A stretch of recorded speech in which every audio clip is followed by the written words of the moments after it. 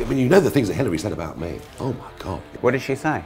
In the run up to the presidential election, 16, a live national press conference, I was a white supremacist extremist Wow. from England. Mm. And then she said I was funded by the Kremlin. Okay, we've got a bit of a fun one here. Oh, I'm sure. all, all the questions you don't like are so we're going to do a would you rather round. Oh, God. Would you rather have 1 million cash or 1 million engaged extra followers on social media and why?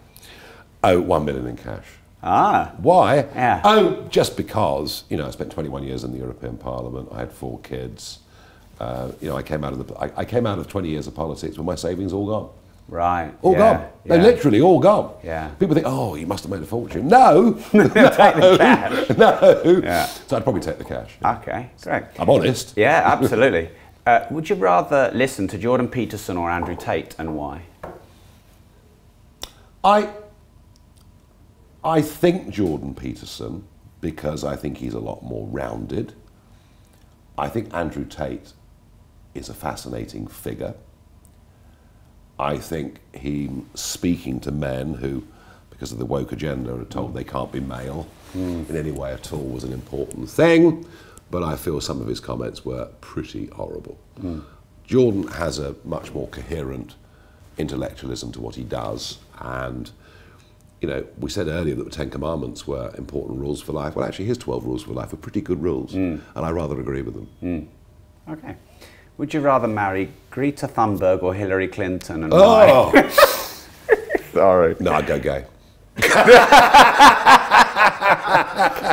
I know, I don't know whether that's really the answer either. Um, oh, gosh, I, I, I just, I can't even imagine. Um, I, I really can't even imagine what. I mean, you know the things that Hillary said about me. Oh, my God, yeah. On live national.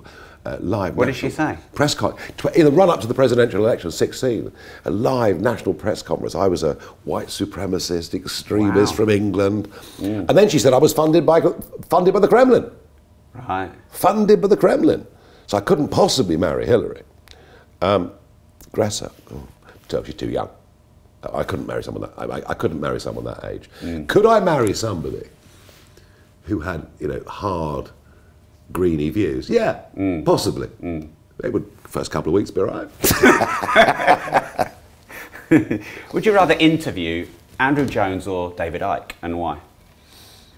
I, I think probably Icke in a way, um, just because he's because the stuff he did before now was really interesting. You know, he's a good goalkeeper Yeah. at Leicester City, um, and he had you know we discussed the BBC earlier. He had quite a, I mean quite an important position at the BBC. Mm. So I suspect Icke.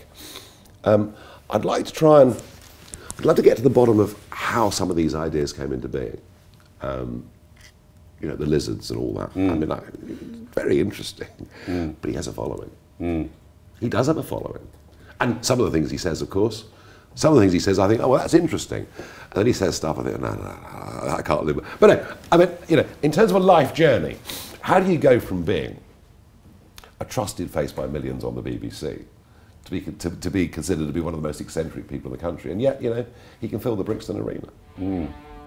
Hey, quick, before you go, if you want to watch the full, raw, uncut version of this episode in detail, no holds barred, you can watch it here. But before you go, make sure you like this video, subscribe to the channel, and turn the notification bell on.